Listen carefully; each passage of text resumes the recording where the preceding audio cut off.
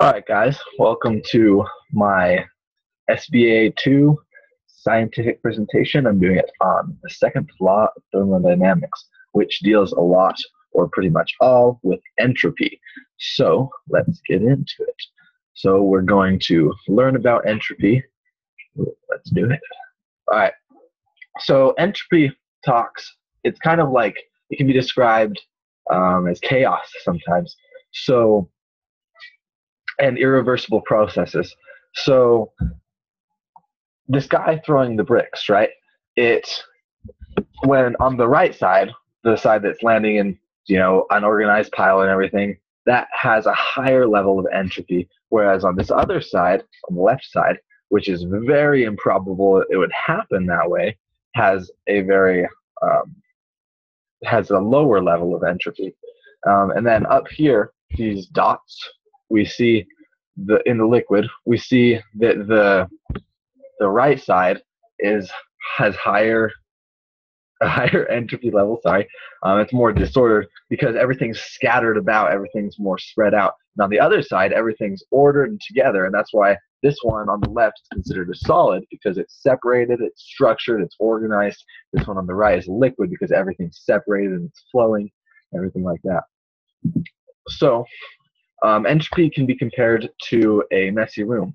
Okay, when you have a really messy room, you have a high entropy level in your room, and when energy doesn't ever like, it's never destroyed, and that's part of the first law of thermodynamics.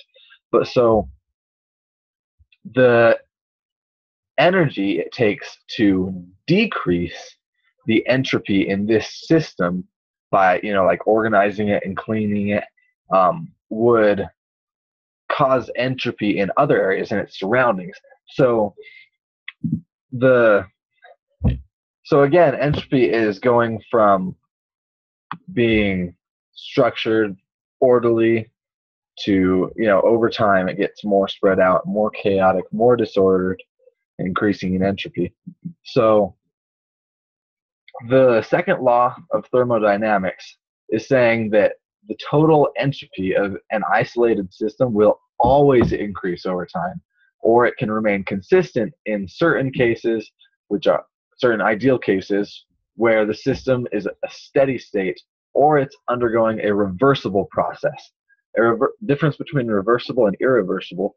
Irreversible is something like, say, you're pouring a glass of milk, right? You can see you see the gla- the milk coming out of the bottle, but and into the glass of milk, into the glass.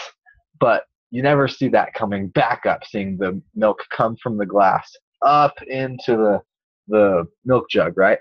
And so that's why it's an irreversible process. It can only go one way.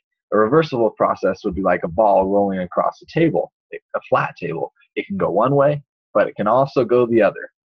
So it can go both ways. So that's my presentation on the second law of thermodynamics. Here are my sources. I used Wikipedia um, and then also Google Images for the different pictures.